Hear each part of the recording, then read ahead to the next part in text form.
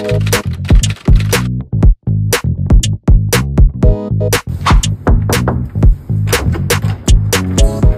I'm Emma. I'm Lauren. And welcome to our room. this is our kitchen with our fish, Ricky.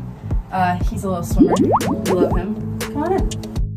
This is the space. We've got our two beds and our two desks. Um, I use mine for like storage, so we've got storage all up in here, which is really nice.